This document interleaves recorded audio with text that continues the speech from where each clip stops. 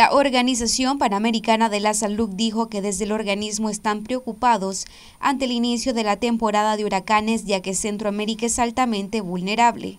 Algunos países se enfrentan a una amenaza triple con la adición de una ola de virus respiratorio sincitial en los niños.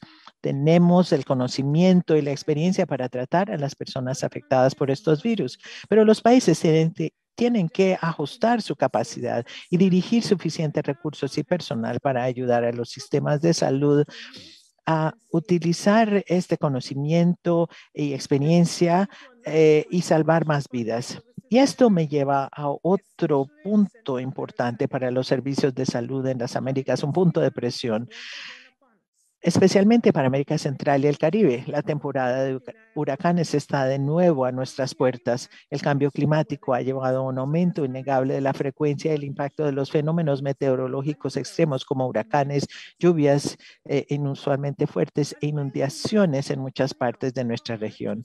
Y aunque debemos hacer todo lo que esté a nuestro alcance para frenar el cambio climático, también tenemos que prepararnos para enfrentar las consecuencias inmediatas de los fenómenos meteorológicos extremos la Administración Nacional Oceánica y Atmosférica de Estados Unidos y el Sistema de Integración Centroamericano esperan ver un número de tormentas eh, muy por encima del promedio este año, especialmente en el Atlántico, el Golfo de México y el Caribe. Esto nos inquieta, nos preocupa, ya que solo se requiere una tormenta masiva para destruir el medio de vida de las personas, paralizar nuestros sistemas de salud y llevar a una pérdida, a una pérdida eh, innumerable de vidas. Debemos prepararnos temprano para que los huracanes no nos sorprendan desprevenidos. Muchos países ya tienen planes nacionales para fenómenos meteorológicos extremos, pero es momento de revisar dichas estrategias y asegurarnos de que estén actualizadas y poner en práctica los planes.